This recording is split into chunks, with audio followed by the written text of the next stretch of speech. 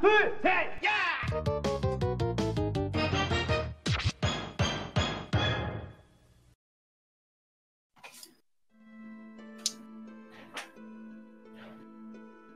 여러분들은 장자시처라는 말을 아십니까? 장자라는 자가 자신이 보이는 시험에 들게 하여 만들어진 말입니다. 자, 그럼 장자시처서라는 어떻게 어디서 생겼는지 함께 이야기 속으로 들어가 볼까요? 때는 기원전 300년경 중국 전국 시대에 있었던 일입니다. 아유, 아유, 아유, 아유, 아유, 아유. 어. 이보시오. 네? 왜 그 무덤 앞에서 부채질을 하고 있는 것이오?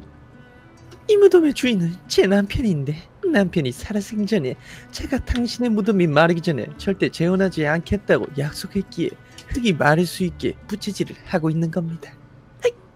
허허, 거참. 그런 사연이. 그럼 내가 그 흙이 마를 수 있게 돕겠어. 감사합니다. 아이, 아이, 음. 난 부채가 없으니까.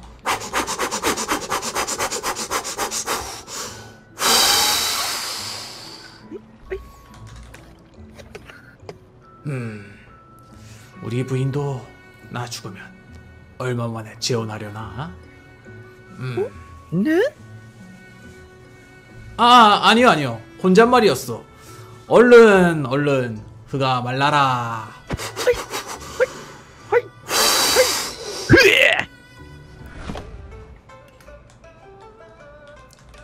부인! 부인! 어? 아, 서방님 오늘은 많이 늦으셨네요 서방님 아, 그런데 왜 그렇게 다급히 대문부터 저를 찾으시는지 아니 부인 내가 오늘 집에 오는 길에 한 여인을 만났어 여인이요? 아니 글쎄 그 여인이 무덤에 부채질을 하고 있는 거 아니요 무덤에 부채질? 아 그래서요? 그래서 내가 여보시오 거기 앉아서 뭐하시오? 했더니만 그 여인이 부채질을 하는 무덤은 남편의 무덤인데 음, 남편이 살아있을 때 무덤이 흙이 마를 때까지 재혼하지 않겠다 약속하여 무덤의 흙이 얼른 마르게 부채질을 하고 있었던 것이었어 어, 아이 거참 희한한 일을 겪고 오시느라 이렇게 늦으신 거로군요 그래서 말이여 부인 부인은 내가 죽고 얼마 만에 재혼할 생각이시오? 예? 아이, 그게 무슨 말이세요? 아이, 저는 그 무덤을 여인처럼 흙이 마르자마자 결혼할 생각도 없고 평생 수절하며 정절을 지킬 거예요. 평생. 허허허. 음, 그렇소? 아름다운 이야기는 미덥지 않은 법이고 미더운 이야기는 아름답지 않는 법. 지금 그 말은 절 못 믿겠다는 그런 거예요? 쉽게 상담하지 말란 말이요. 전 그런 지조 없는 여인과는 다릅니다. 이런 영양가 없는 이야기는 그만하고 밥이나 먹으러 가세요. 음, 마님을 못 믿으시는 거예요? 음, 부인이 맹세를 지킬 사람인지는 내가 죽어봐야 알 수 있을 것인데 내가 죽고 나면 이러던 저러던 다 소용없으니 참 어렵구나. 허허허.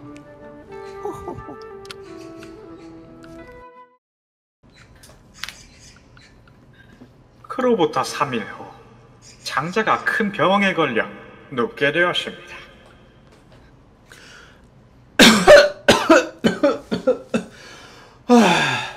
부인, 나는 이제 가망이 없어. 서방님, 그게 무슨 말이세요? 저랑 백년 천년 함께하기로 했었잖아요. 부인, 내가 죽거든 너무 슬퍼하지 마시고 아, 다른 사람과 만나 재혼하시오. 서방님, 그게 무슨 말이세요?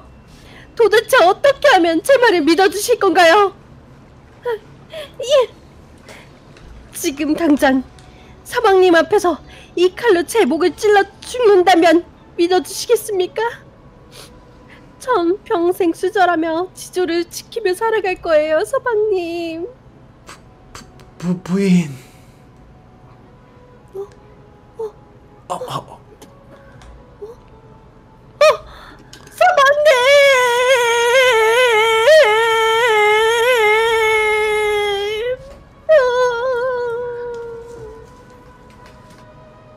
장자는 인종 직전까지도 부인 전 씨에게 재혼을 권했고 부인 전 씨는 끝까지 수절을 맹세했습니다. 그리고 장자는 무덤가의 여인을 만난 지 얼마 안 지나 병으로도 세상을 떠났습니다. 서방님, 이렇게 갑자기 세상을 떠나시다니요. 아, 아내도 무심하시지. 개 계시오. 여기 장자 선생님 이 집 아니요. 어쩌 창자 선생님을 찾으시는 거라면 창자 선생님은 어제 돌아가셨습니다. 아, 예. 아니 이게 무슨 선생님의 가르침을 받고자 이렇게 왔는데 훌륭하신 분을 살아생전 뵙지 못하고 이렇게 가버리시다니 아, 잘생겼다. 정신 차려. 죽은 남편 앞에 두고 그러면 안 돼. 리순아, 리순아. 어, 어, 아, 잠깐, 잠깐 이쪽으로. 네? 그, 글쎄 말이다. 오해하지 말고 들어라. 그 저기 계신 하객분은 뉘시더냐? 어, 그 잘생긴 분이요. 초나라 왕자님이래요. 뭐? 오, 왕자님이면 뭐더라고? 아야, 아야, 아야. 그 혼인은 하셨대냐? 네? 혼인이요? 왕자님 어. 지금까지 혼자셨습니다. 뭐하니? 술상 안 차리고. 네, 참이슬로 준비하겠습니다. 장자 선생님은 다른 사람들과 달리 출세에 목매시지 않으셨죠. 이 시대의 참된 현인이셨습니다. 그분의 업적은 이루 말할 수가 없습니다. 부인, 제가 49일간 장자 선생님의 애도를 하러 매일 찾아와도 되겠습니까? 그러실 필요 없습니다. 예? 그 매일 걸음하시기 힘드실 텐데 그냥 49일 동안 저희 집에서 지내시며 애도하시지요. 부인 전 씨는 먼저 과감하게 왕자에게 호감 표시를 보였고요.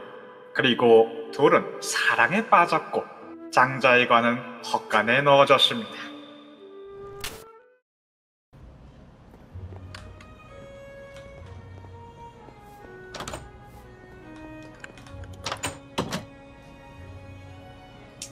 그렇게 부인 전 씨와 장자가 혼이하였고 그날 밤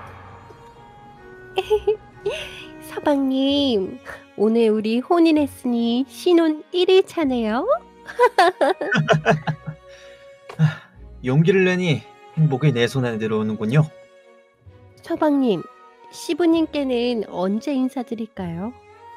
하, 그건 아직 장자 선생님이 돌아가신 지 20일밖에 안 지났으니 49제는 지나고 그 다음에 인사드립시다.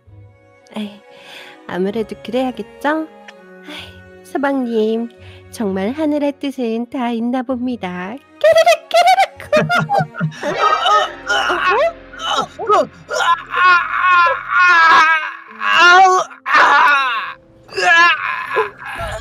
서방님, 서방님, 여봐라,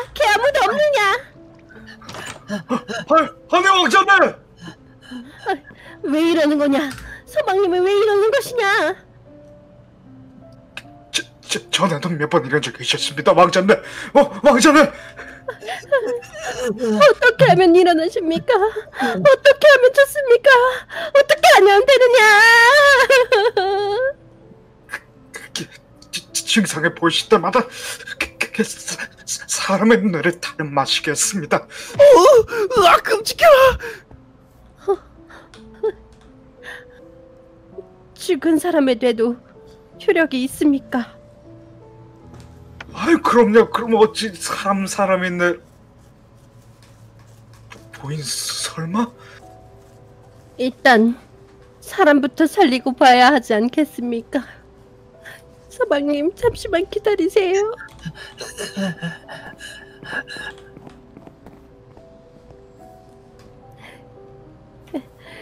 어쩔 수 없어. 이 조그만한 도끼로 해결을 봐야 해. 마님 아무리 그래도 그건 그건 아니잖아요, 마님. 서방님이 죽어가고 있잖아. 저 관에 있는 건 더 이상 사람이 아니야. 일단 그 엑스칼리버를 나한테 줘봐.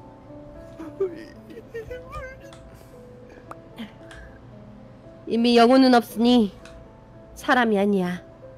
어차피 뼈와 살이 땅으로 사라지잖아. 네가 대신 나 대신 이 일을 해줄 거 아니면 나가. 와 끔찍해라. 어, 하나가 더 있어? 그래. 이건 사람이 아니야.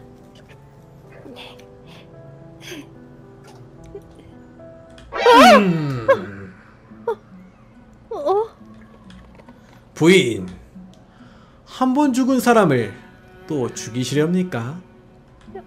서, 서, 서, 서, 서, 서, 서방님?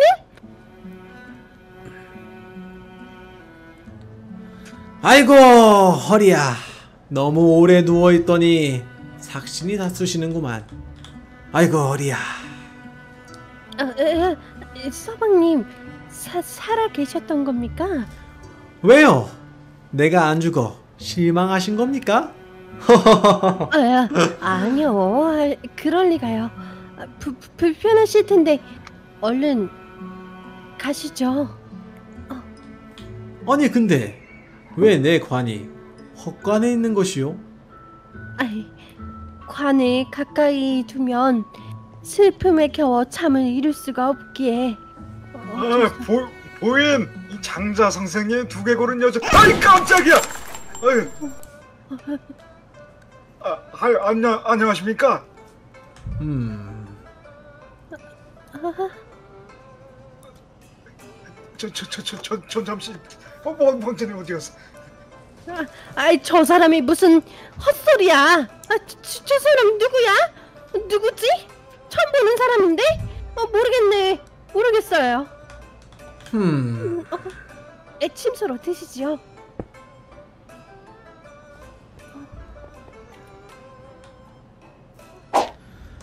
아이고 내 침소 그리웠다 그리웠어. 죽은 줄로만 알았습니다. 하, 20일 동안 죽은 듯 있는 것쯤이야. 누워서 떡 먹기지. 네? 죽은 척을 하셨던 거예요? 왜요? 궁금했었어. 정조를 지키겠다는 부인의 말이 진심일지 아닐지 말이요. 그럼 저를 시험하신 겁니까? 제게 수치심을 안겨주려고요? 아니, 부인을 수치스럽게 만든 것이 나란 말이요. 굳은 맹세를 한 것도 맹세를 단박에 깨버린 것도 내가 아닐 터인데. 참으로 잔인하십니다. 일이 닥치기 전까지는 자신이 어떤 사람일지 알기 힘든 법이지요. 뭐 나야 궁금증을 풀었으니 됐소. 부인도 그저 한바탕의 꿈이었다고 생각하고 다 잊어버리시오. 허,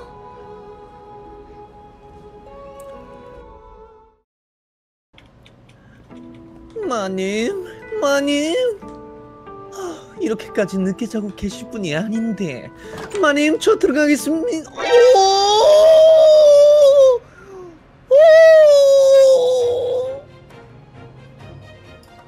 장자에게 시험 당한 전씨 달콤했던 꿈은 악몽으로 변하고 결국 부끄러운 수치심을 이기지 못하여 스스로 목숨을 끊고 말았습니다. 장자는 매우 슬퍼했다고 합니다.